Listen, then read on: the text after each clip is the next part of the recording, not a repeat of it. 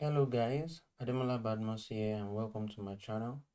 In case you are coming for the first time, please subscribe to my channel and hit the notification bell because I'll be making more videos. So continuing with Cypress 10, so let's look at um, the environment variable, how you can create environment variable.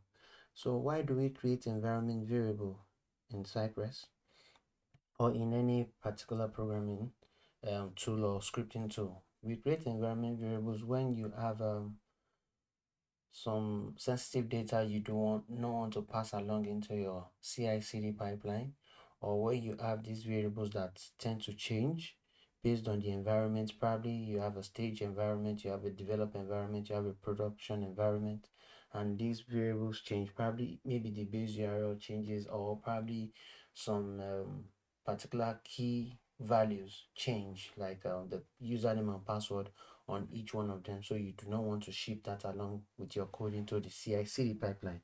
So let us see if anything has changed, particularly with the way um, environment variables are made. The only change is uh, the absence of the Cypress.json file.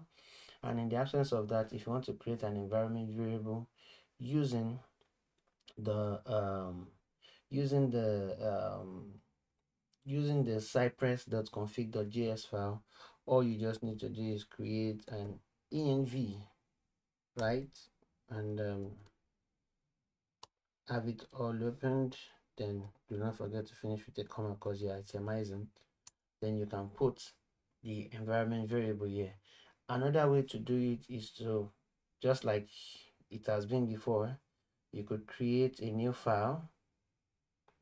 You could create a new file and um, it would so you create a new file called cypress env.json so it still works the same way.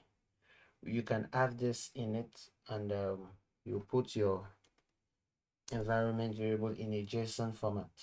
Now as of the as as regards which one takes um, precedence in um, your code it's um, like I, I would share a documentation for you to read further out uh, on it because it is not just these two ways that you can assign uh, environment variables. Actually there are other ways but i'm just showing you like the common ways that um, is possible.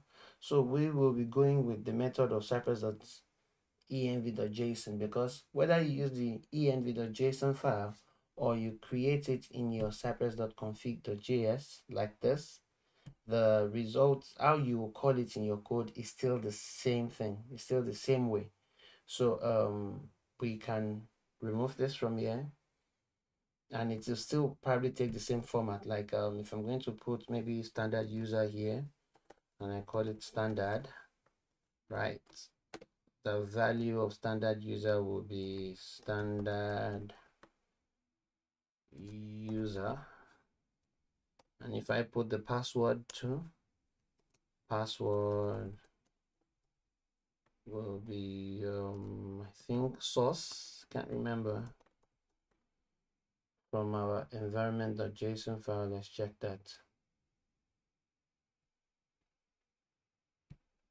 So password is secret sauce standard standard user and now so we could put that there says secret sauce by the way a big shout out to swag uh, swag labs. They made the uh, they made the sauce demo site that we are using.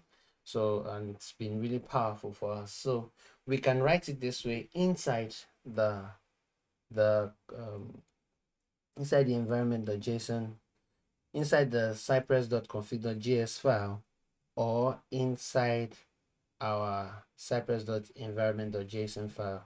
So let's remove this and continue to use this. So we um, paste this here. And have this done let me format this to make sure it's okay yes so fine. So now we have done this here. I like to capitalize my um, my usernames and password when I'm using the environment variable. It's just a style that I'm used to. It isn't as if it is probably a best practice or a bad practice or something. I just like to capitalize it when I'm using it just to um, it helps me to remember that I'm using a, uh, an environment variable. So if we want to call this in our code, we can easily come here and um, since the username particularly is um, changing we could um, get here and just either rather than just have this here we could just have um, cypress dot env and um, have the value there since we want to change the standard user we are not changing the password as at the moment. We've not touched the the the custom command that we made. We are not changing the password yet. We just want to test if um, this would work. So we are putting the standard user like this. So we expect that it picks the value of the standard user from here. So let's see if that would work. So let's try again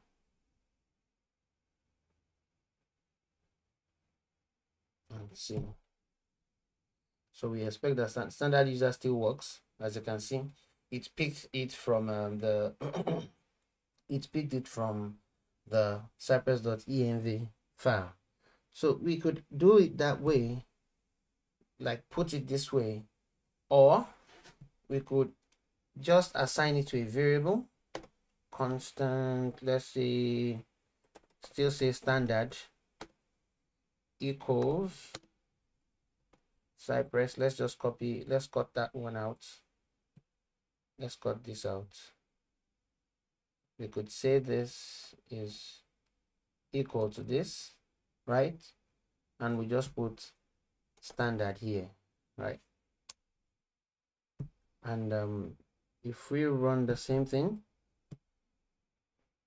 because we've already set watch for file changes to false it won't um, see the changes. So until we do until we reload it and we run it again. As you can see it still works. Still picks the standard user. So it can work either ways. So we can go ahead and um, get into uh, our actions folder. Since um, we want to change the password we could let's just let's lift this. Let's let's lift this and um, bring it here. So we just change some variables there. So we change this one to password and we change it, this one to password as well. So all we just need to do is um, remove this and assign it to it. So let's see if that works. If it still works that way. You would notice that um, the other ones that are still getting their values from the elements.json file are still getting their values correctly because uh, we've not changed them as well. So they just pick their values from there and everything is resolved by the cypress webpack itself so it has nothing to do with uh, you do not have to have any edit so if you decide not to use the uh, cypress uh, environment.json file or you do not even use environment variables at all you can still store them in the fixtures folder. But the thing is know why environment variables are used and know the best situation to use it so you can adhere to best practices. So with that being said um, that introduces us to the usage of uh, um, uh, environment variables. So in the next video perhaps maybe it will be okay i will want to push this to a git repository. So we would um, try to configure probably a github action or if we can get uh, gitlab to work on my system because i've made some configurations here um, if we can get gitlab to work on my system and we would use gitlab else we would probably just use GitHub and use the GitHub actions. Then probably later on we'll also use Circle CI and see how we can push our Cypress scripts from our local um, repository into Circle CI or just use GitHub actions. Thank you for watching. Please do not forget to subscribe and like the video if you find it useful. See you in the next class. Bye bye.